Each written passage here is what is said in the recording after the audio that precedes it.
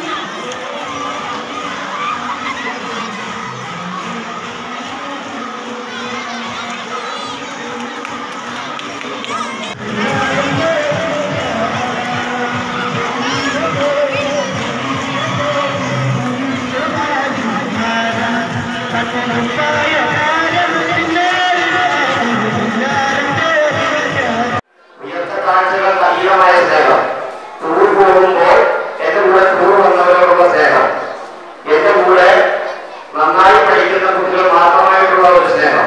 അങ്ങനെയാണോ സ്നേഹത്തെ വേണ്ടത് ഒരു ക്ലാസ് റൂമിലെ മുഴുവൻ കുട്ടികളെയും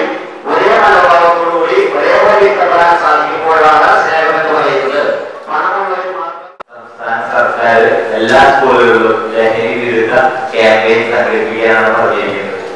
അതിന്റെ മുന്നോടിയായി എല്ലാ സ്കൂളുകളിലും പല വിവിധ തരത്തിലുള്ള പരിപാടി സംഘടിപ്പിച്ചുകൊണ്ടിരിക്കുന്ന ഈ അവസരത്തിൽ നമ്മുടെ